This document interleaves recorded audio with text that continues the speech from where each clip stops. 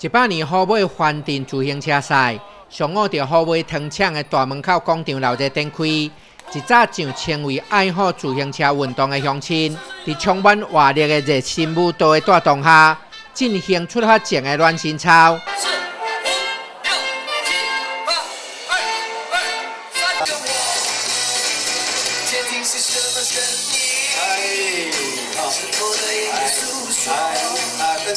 随后，官府教育处副处长孙美红、河尾镇长林文斌、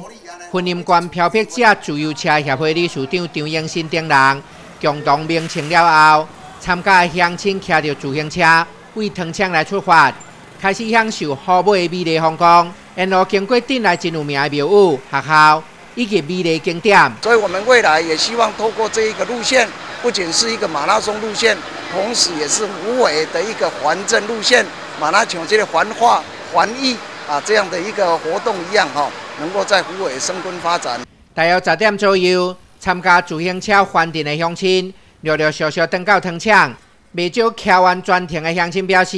沿路经过镇内二十九个里、五十三个钟头，对整个的环镇路线甲风景有全新的感受。所有的车友感觉就是说，诶，这个湖尾镇的发展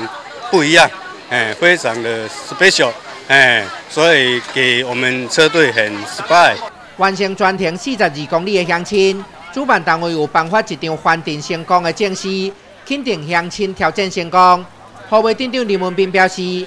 自行车是一项适合各年龄层的运动，无论名次如何，参加的亲子拢共享沿路的农村寺庙之美，体验在地人文特色。